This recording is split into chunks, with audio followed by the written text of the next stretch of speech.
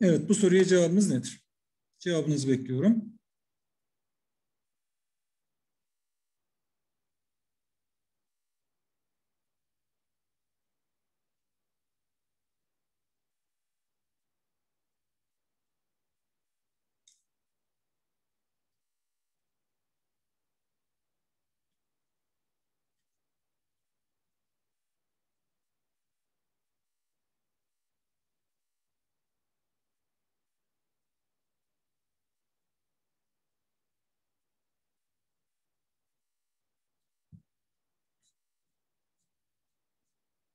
Biraz ipucu vereyim size.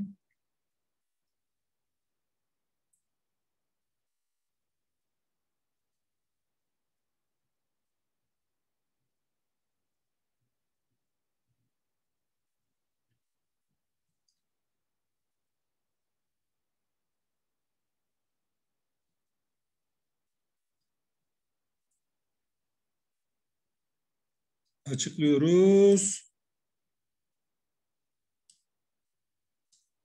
Cevabımız bol. Bir de çözelim arkadaşlar. göreceğiz. X ve Y iletken küreleri sırasıyla eksi 2Q ve artı 12Q yükleriyle yüklüdür. Aşağıdaki işlemler sırasıyla yapıldığında son durumda Y küresinin iç ve dış yüzeyindeki yük miktarları nasıl olur diye sorulmuş. Şimdi işlemleri basamak basamak yapmaya çalışalım. Birinci işlemde X, Y'nin içerisine değmeden sarkıtılıyor. Hemen X'i getirdiğimiz zaman buraya eksi 2 yüküyle ne yapacak? Kendisine 2 tane artı yükü çekebilir. Dolayısıyla içeride bir artı 2 yük olduğunda dışarıda da artı 10 Q'luk bir yük birikimine neden olacak Y küresi için. İkinci aşamaya geçelim hemen. İkinci işlem A anahtarı kapatılıp açılıyor. Yani bir toprak bağlantısı oluşturuluyor. İçerideki artı 2 yükü ne yapılacak? X tarafından tutulacak. Ancak dışarıdaki artı 10 yükünü tutan herhangi bir şey yok. Dolayısıyla topraktan gelen elektronlar yardımıyla kürenin dışına eksi 10 Q'luk bir yük gelecek. Dolayısıyla kürenin dışı nötr bir hale gelecek diyebiliriz. Ancak içeride hala artı 2 yükü var. Son olarak x, y'nin içerisinden çıkartılıyor. X'i y'nin içerisinden çıkartmak demek artık buradaki Faraday kafesi olarak adlandırdığımız içi boş küremizin kendi özelliğinin devreye girmesi demek. Bunun özelliği içerinin nötr tutulup bütün yükün dış yüzeye atılması demekti. Burada artı ikilik yükümüz var. O zaman dış yüzeye artı ikilik yük gönderilirken iç yüzeyin kesinlikle ne olduğunu söyleyebiliriz? Nötr kaldığını söyleyebiliriz. İç yüzeyin nötr olduğu hemen seçeneklerde işaretleyelim. Dış yüzeyinin de artı 2 olduğu durumları işaretlediğimizde doğru yanıtımızın B seçeneğinde nötre artı 2Q olduğunu göreceğiz. Evet. Oldu mu? Bir pürüz var mı? Anıl bir pürüz var mı? Anladın mı?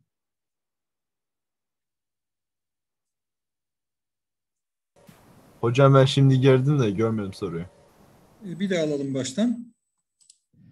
X ve Y iletken küreleri sırasıyla eksi 2Q ve artı 12Q yükleriyle yüklüdür. Aşağıdaki işlemler sırasıyla yapıldığında son durumda Y küresinin iç ve dış yüzeyindeki yük miktarları nasıl olur diye sorulmuş. Şimdi işlemleri basamak basamak yapmaya çalışalım. Birinci işlemde X, Y'nin içerisine değmeden sarkıtılıyor.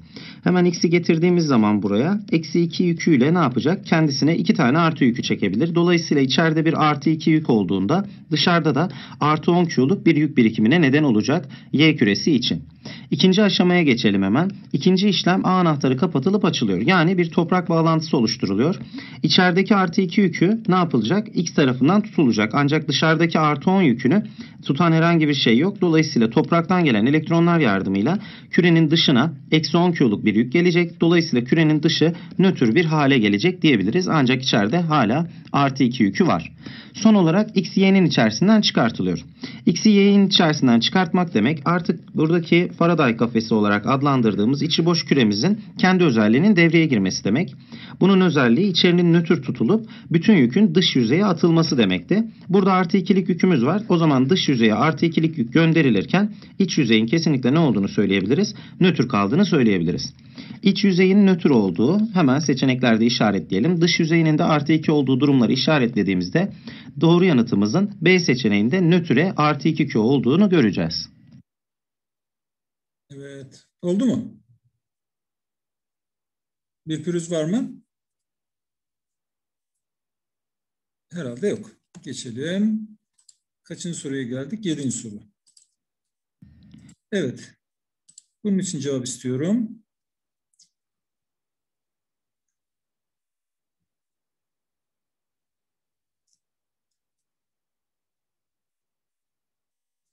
Evet, bulan söylesin.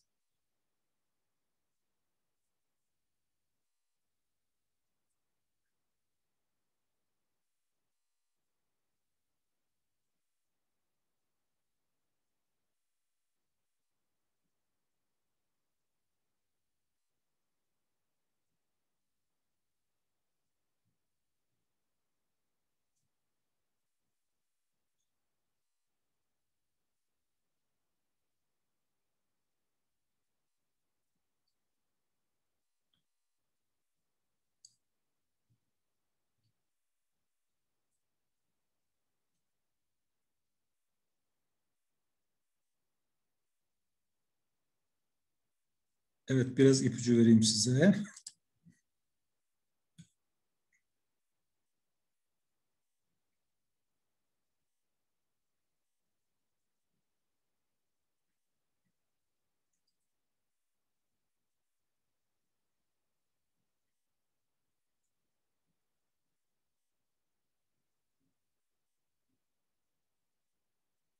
Evet, fazla ipucu oldu.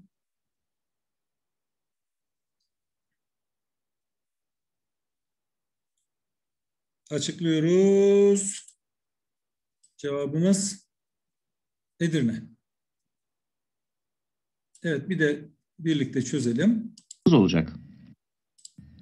Başlangıçta nötr olan X, Y ve ZT iletken cisimlerinden Y ve T toprağa bağlıdır. Şekillerde görüldüğü gibi pozitif yüklü K ve L cisimlerinden K yaklaştırılırken L dokunduruluyor. Buna göre X, Y ve ZT iletkenlerinin yük durumları aşağıdakilerden hangisi olabilir diye sorulmuş. Birinci şekle bakalım. K yaklaştırıldığında X'in bir tarafında eksi yüklerin biriktiğini söyleyebiliriz. Diğer tarafında da artı yükler birikecek. Aynı şekilde Y için de bu tarafta eksi yüklerin birikimi sağlanırken diğer tarafta artı yükler birikecek. Ancak toprak bağlantısından dolayı kendisine yakın yerde ve diğer tutulmayan yüklerden artı yükleri nötrlemek için topraktan elektronlar gelecek ve Y'nin bir tarafı nötr olurken diğer tarafı eksi kalacak. X'in bir tarafı eksi iken diğer tarafı artı olacak. O zaman önce bu durumları bulalım. X'in bu durumu doğrudur. X'in bu durumu yanlış. Hemen bunun doğru olduğunu söyleyelim. Bu yanlış olacak ve bu doğru olacak. İki seçeneği elemiş olduk böylece B ve D seçeneklerini. Y'ye baktığımız zaman eksiye nötr olmalı. Hemen eksiye nötr olduğu durumları işaretleyelim. Burada eksiye artı olduğu için eledik ve burası eksiye nötr olacak. Yine e, C seçeneğini de elemiş olduk böylece. Şimdi e, diğer ikinci şeklimize gelirsek. Artı yüklü küre bir nötr küreye başlangıçta nötr olan Z e, yalıtkan malzemesine dokunduruluyor. Dolayısıyla Z'nin artı yüklü bir parçacık olmasını bekliyoruz. Z artı yüklü bir parçacık olduğunda T'yi etkiyle elektrikleyecek ve kendisine en yakın yerde eksi yüklerin birikimini sağlayacak. Kendisine en uzak yerde de artı yüklerin birikimine neden olacak.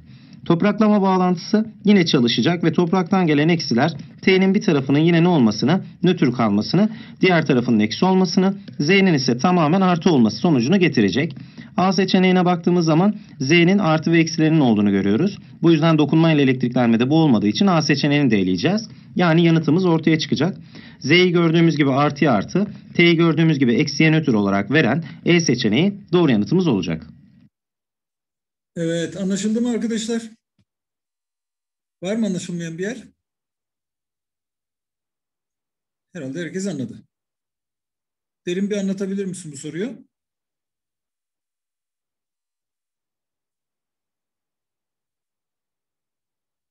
Anlatırım hocam.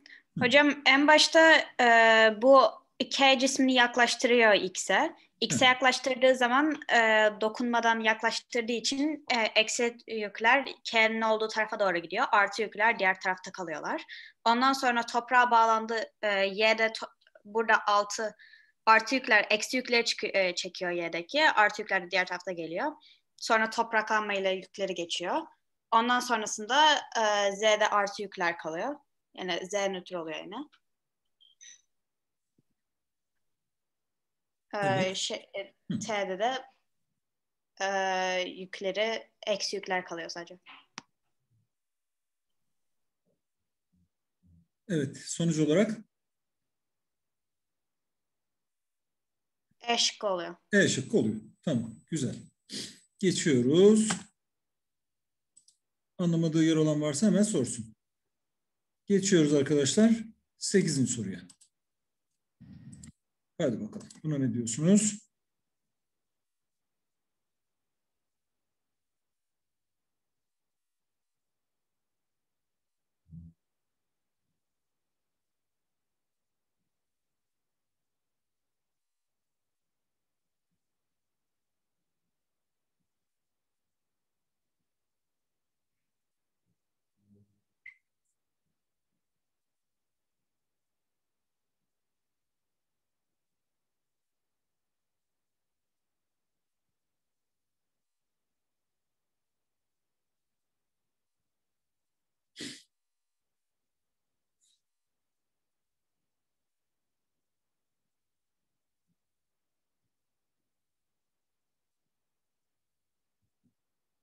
Size biraz ipucu vereyim.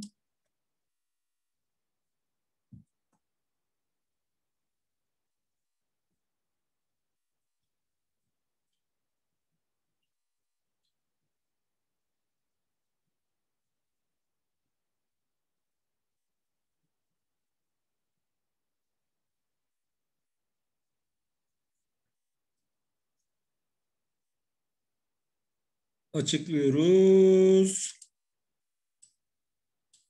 Cevabımız Bolu. Bir de birlikte çözelim. olmalı.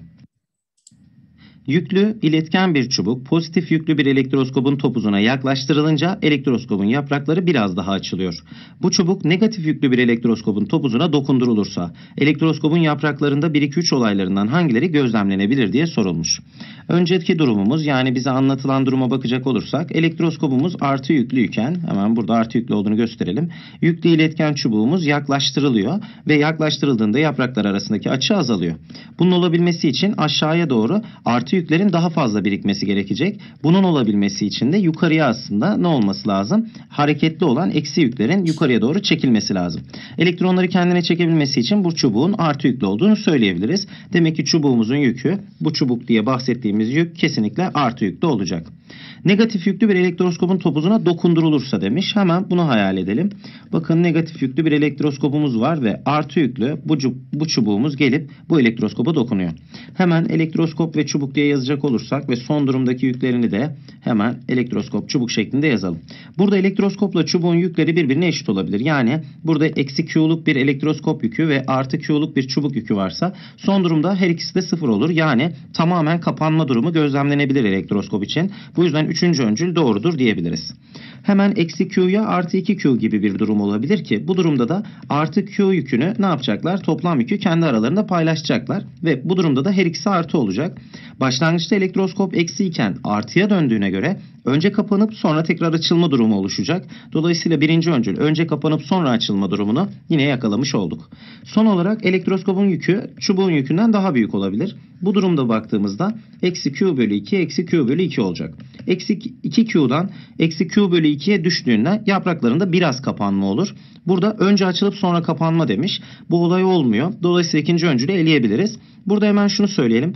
Bir elektroskopun önce açılıp sonra kapanma ihtimali hiçbir yük durumunda bulunmaz. Bu yüzden seçeneklere bakar bakmaz eleyebileceğimiz bir öncüldü bu. Ancak ispatını da yapmış olduk. 1 ve 3 doğru olduğundan dolayı yanıtımız B seçeneği olmalı. Evet. Bir pürüz var mı? O zaman geçiyorum. Bu test 3'tü. Öyleyse test 4'e geçiyoruz.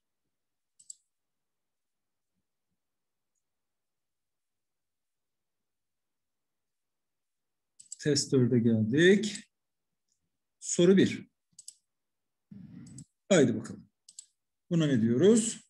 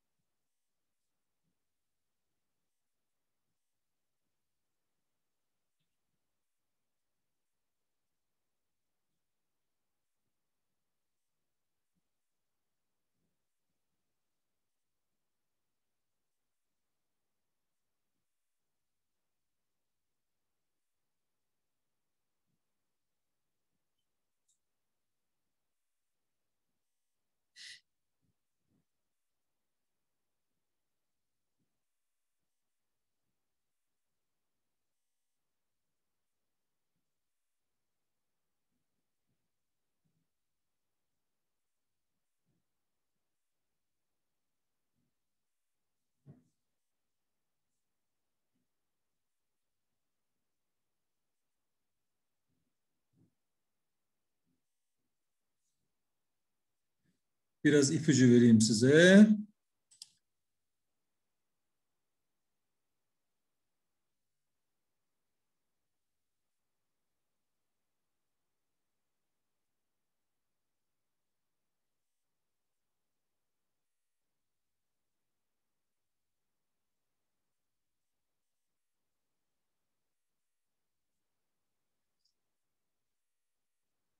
Açıklıyoruz. Cevabımız Denizli. Bir de çözelim.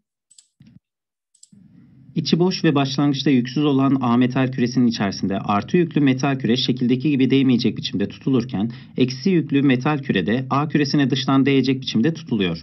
Bu durumda A küresinin iç ve dış yüzeylerinin yük durumu aşağıdakilerden hangisi gibi olur? Yaklaştırdığımız artı Q yüklü cisim yüzünden yüksüz olan A metal küresinin içerisinde eksi yüklerin birikeceğini, dış yüzeyinde ise artı yüklerin birikeceğini söyleyebiliriz. Burada eksi yükleri içeri çektiği için dış yüzey artı olmak zorunda kalacak. Dışarıdan artı yüke temas eden eksi bir yük var ve içeriden bu artıları dışarıya itekleyen artı Q yükü olduğuna göre dışarıdaki yük miktarı artı Q kadar olacak. Karşıdan dokunan eksi Q olduğuna göre dokunma ile elektriklenmede toplam yükümüze bakıyorduk. Burada toplam yük değerinin sıfır olduğu görülüyor. O zaman küremizin dış yüzeyi ne olacak arkadaşlarım? Kesinlikle nötr olacak ve buradaki cisim de nötrlendikten sonra kürenin dış yüzeyi nötr ve iç yüzeyinin eksi olması gerektiği sonucuna varacağız. Buna göre seçeneklerde eksiye sıfır değerlerini işaretlediğimizde doğru yanıtımızın D seçeneği olması gerektiğini görüyoruz. Oldu mu arkadaşlar? Bir pürüz var mı? Kaan bir tekrarlayabilir misin bu soruyu bize? E, Hocam biraz yeni geldim de tekrar anlatabilir misiniz? Ben mi anlatayım? Ee, buradan videodan izleyelim mi? Videodan tekrar izleyelim. Tamam. İçi boş ve başlangıçta yüksüz olan A metal küresinin içerisinde artı yüklü metal küre şekildeki gibi değmeyecek biçimde tutulurken eksi yüklü metal kürede A küresine dıştan değecek biçimde tutuluyor. Bu durumda A küresinin iç ve dış yüzeylerinin yük durumu aşağıdakilerden hangisi gibi olur? Yaklaştırdığımız artı Q yüklü cisim yüzünden yüksüz olan A metal küresinin içerisinde eksi yüklerin birikeceğini, dış yüzeyinde ise artı yüklerin birikeceğini söyleyebiliriz. Burada eksi yükleri içeri çektiği için dış yüzey artı olmak zorunda kalacak. Dışarıdan artı yüke temas eden eksi bir yük var ve içeriden bu artıları dışarıya itekleyen artı Q yükü olduğuna göre dışarıdaki yük miktarı artı Q kadar olacak. Karşıdan dokunan eksi Q olduğuna göre dokunma ile elektriklenmede toplam yükümüze bakıyorduk. Burada toplam yük değerinin sıfır olduğu görülüyor. O zaman küremizin dış yüzeyi ne olacak arkadaşlarım? Kesinlikle nötr olacak ve buradaki cisim de nötrlendikten sonra kürenin dış yüzeyi nötr ve iç yüzeyinin eksi olması gerektiği sonucuna varacağız.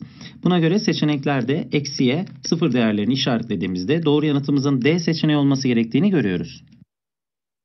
Oldu mu arkadaşlar? Bir pürüz var mı? Yok. geç. Hocam ben tam net anlayamadım ya. Ee, Tamam bir de ben anlatayım. Şimdi sorumuz şunu diyor bak. Dikkatli izleyin. Burada kırmızı kullansak herhalde daha iyi olacak.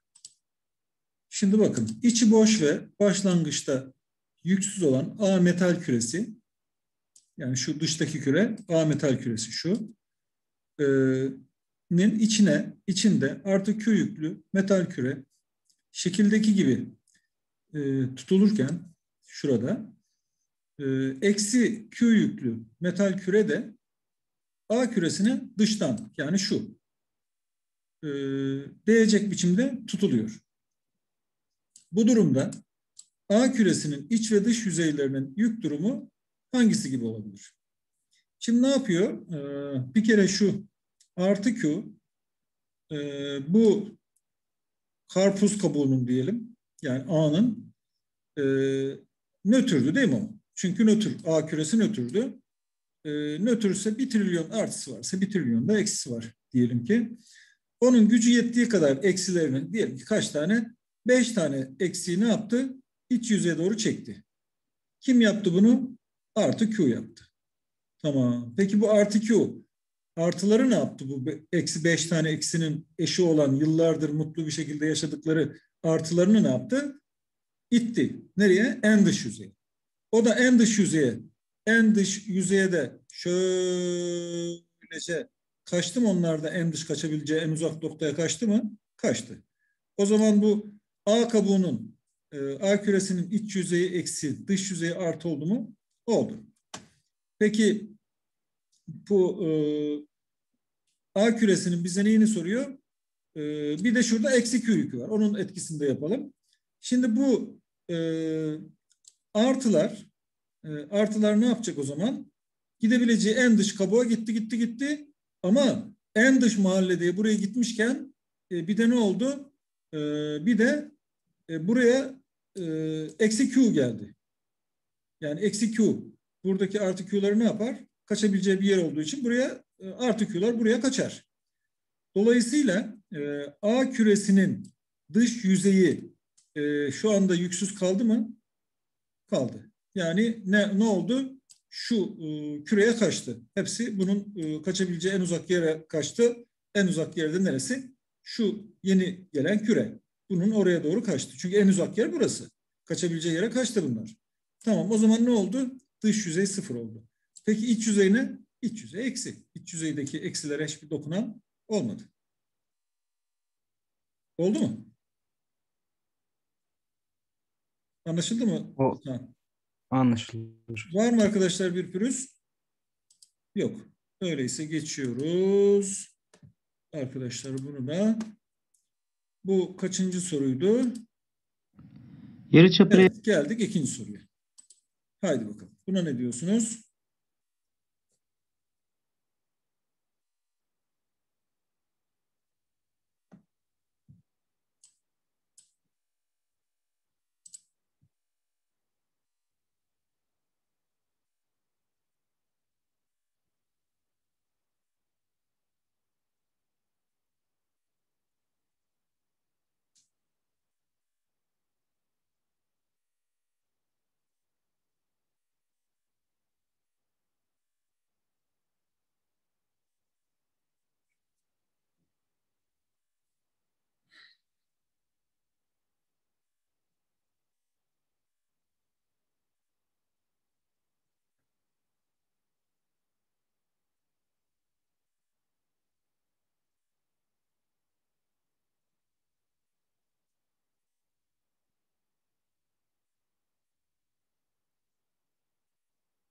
Size biraz ipucu vereyim ben.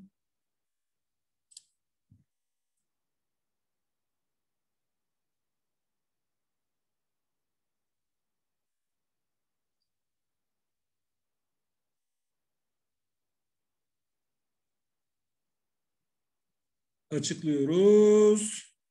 Var mı cevap? Cevabımız arkadaşlar Adana. Bir de çözelim. Yarıçapı R olan eksi Q yüklü iletken K küresi yalıtkan sapından tutularak önce eksi 7 Q yüklü iletken cisme içten sonra artı 9 Q yüklü M küresine dıştan dokunduruluyor. Buna göre son yükleri aşağıdakilerden hangisidir diye sorulmuş.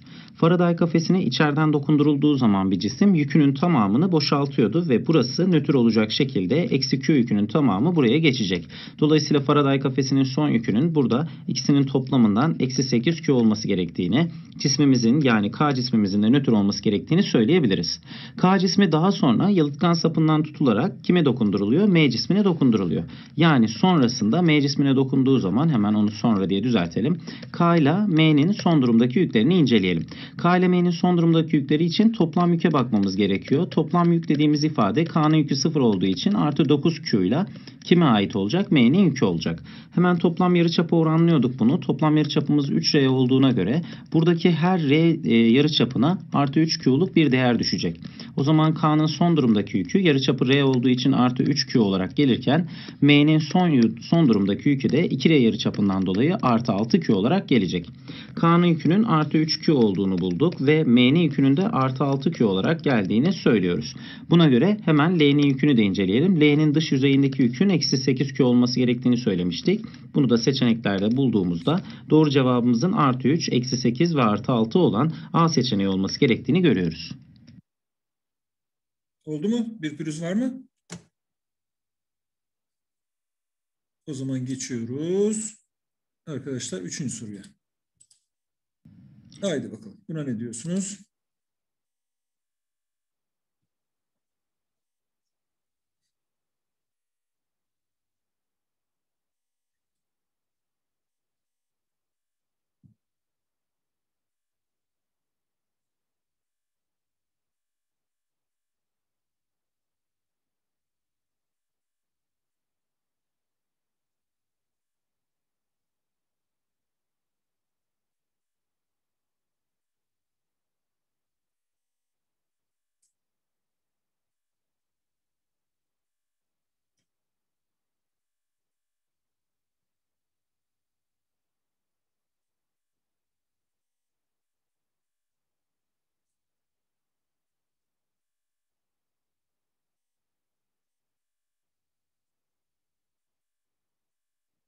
Biraz ipucu vereyim size.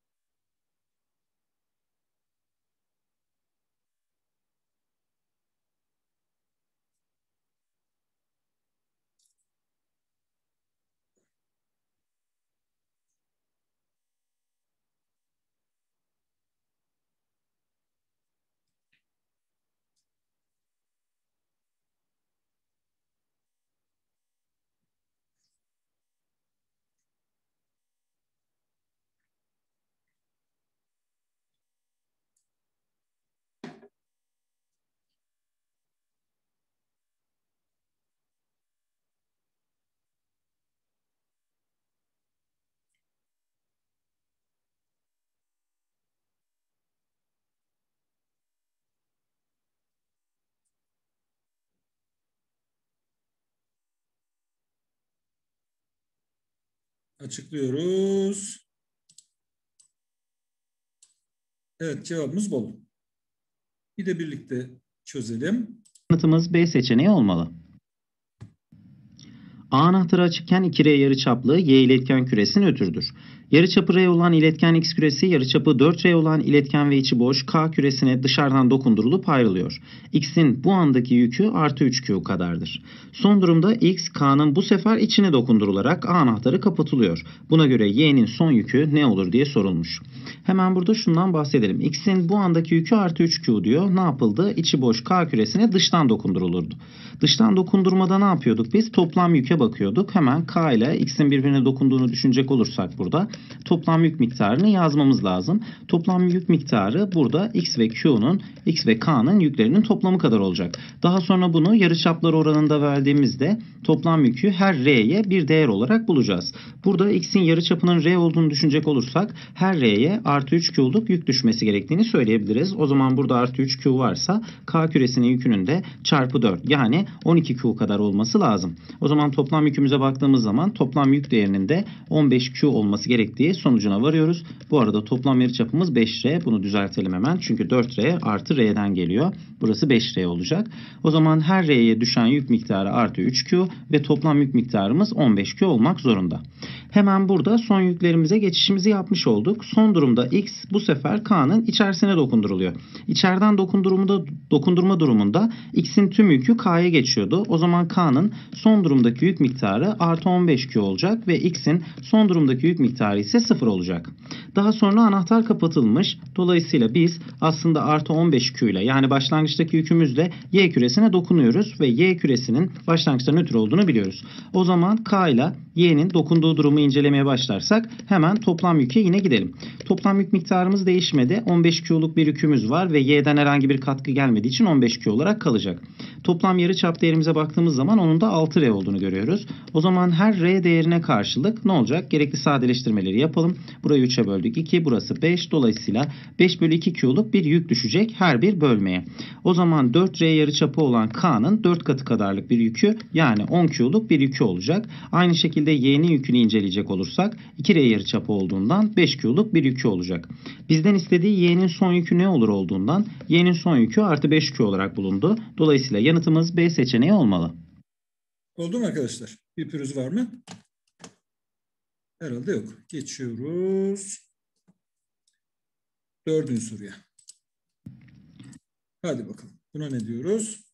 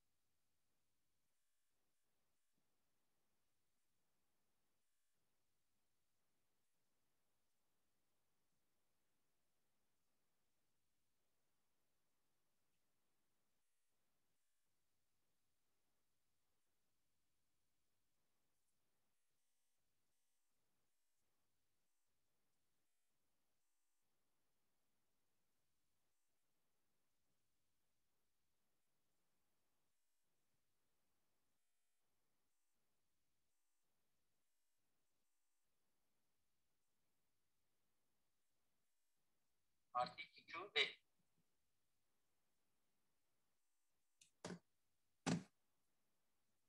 Size biraz ipucu vereyim.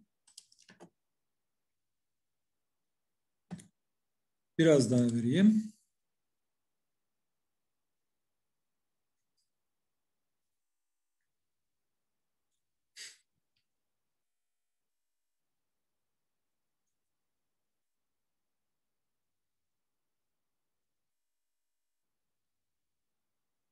Açıklıyoruz. Cevabımız Denizli. Bir de çözelim.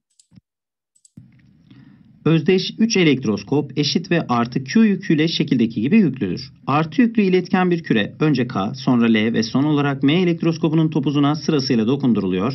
3 dokunmada da yaprakların as- arasındaki açı azalıyor. Elektroskopların son yük büyüklüklerinin sıralaması nasıldır diye sorulmuş.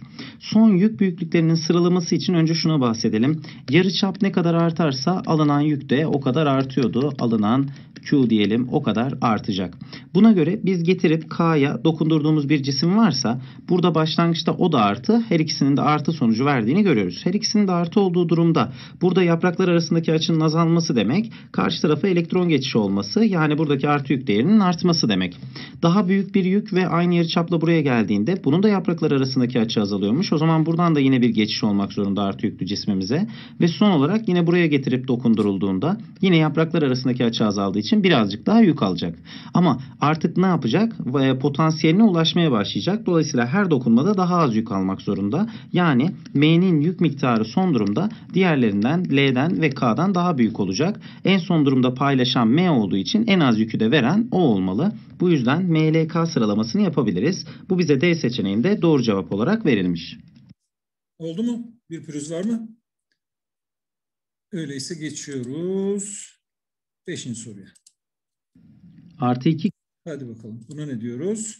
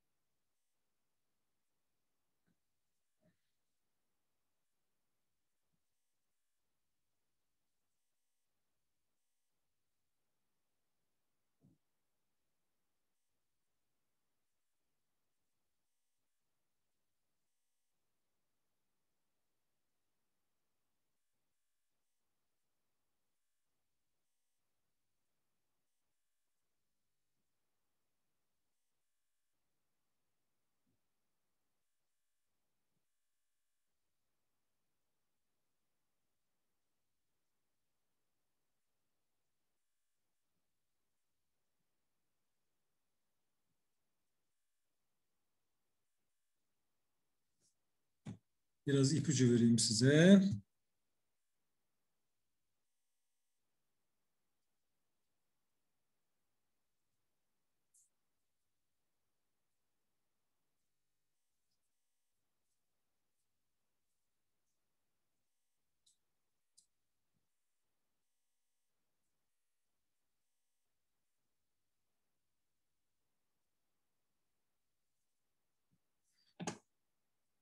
Açıklıyoruz.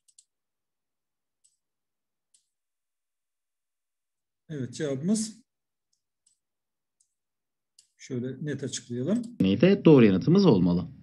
Evet gördük değil mi? Tekrar açıklayalım. olacak. Biraz kapanma ve daha çok açılmanın yer aldığı D seçeneği de doğru yanıtımız olmalı.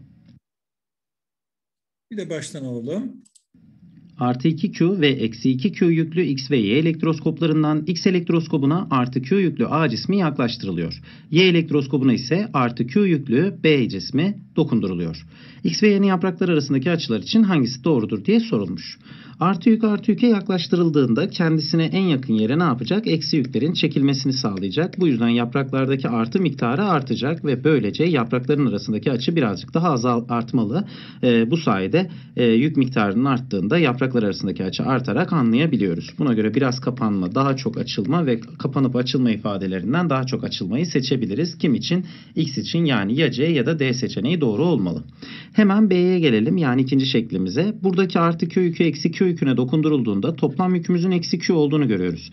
Bunu yarı yarıya bile paylaşsalar eksi Q bölü 2 ve eksi Q bölü 2 olarak paylaşmaları gerekli. Yani başlangıçtakine göre yükümüz ne yapacak? Eksi Q bölü 2'ye azalacak. Yaprakların arasındaki açı da otomatikman azalmalı. Yani biraz kapanma ifadeleri doğru olacak.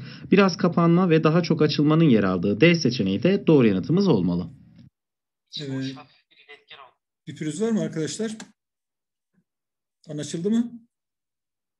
Geçiyoruz. Altıncı soruya. Haydi bakalım. Buna ne diyoruz?